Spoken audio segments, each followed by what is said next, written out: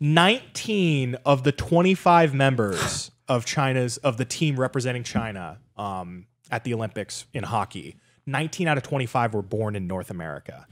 oh yikes! That's crazy. 11 of those are Canadians, 9 are Chinese, 3 are Americans, and there's one Russian, which is, you know, fun. Making up the Chinese. but how three Americans are representing China in the hockey team? I mean, this is yeah. We we've gone a long way since what was the, what's that movie called? What's the hockey movie where we beat Miracle? Russia? Miracle. It's been a the long Great way. American Triumph of 1980 when we beat Soviet Russia. I think I think a lot of our viewers just found out how young I am, unfortunately, um, and that I don't know anything about the world. But yeah, I just I, I I don't I don't understand how you're born in America. You know, one of these guys is born in Chicago, Yeah. born and raised in Chicago, and you know he's quoted as saying, you know, we're gonna go out there and we're gonna win, we're gonna earn some respect for China.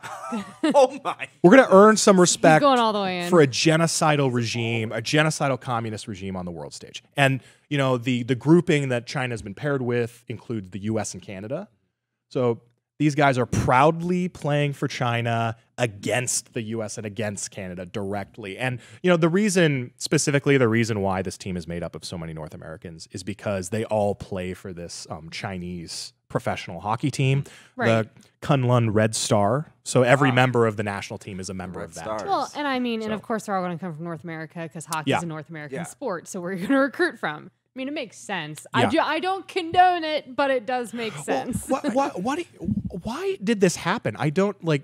It's hard for me to wrap my head around the fact that there are Americans proudly playing Yeah. for China. So, like, That's how did we get to this spot, Joey?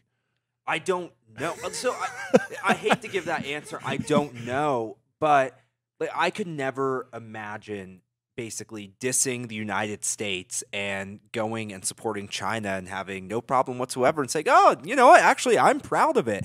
Uh, I don't understand. The only thing They're, I can like really think- proud of it. The yeah. only thing I can think is they weren't good enough to get on Well, an American that's or a- a yeah, I Canadian think that's a team. pretty So they're just saying, "Oh, well, if I shill for China, they'll let me on the team, and if I say I'm proud of them, I'll get to play." But like I- the cultural attitudes around this, like I have no doubt that had this happened 60 years ago, Oh. like none of them would Oh. be Oh, playing for China. no No, way, no, no. No 40 way. years ago, none of them.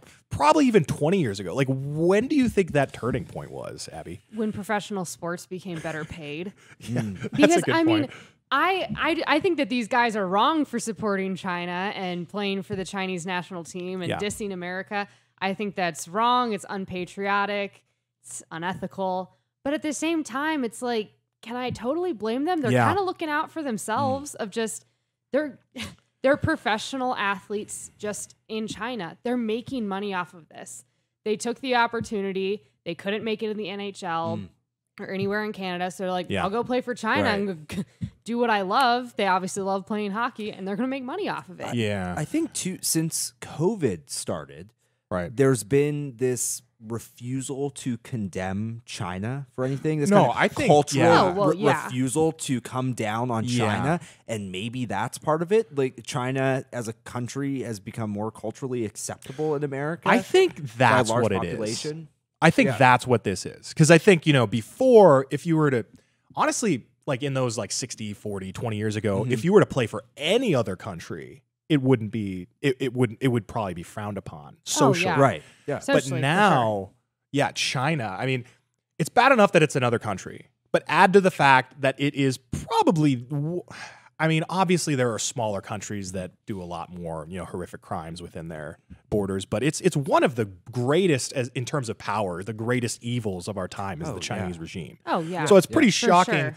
You know, and we've seen it with the NBA players. You know, NBA players Ah. come out in support of China. They don't necessarily, you know, bulk, bulk at it. You know, LeBron James will stand up against systemic racism in America, but he won't stand out against Uyghurs being genocided in the Xinjiang region.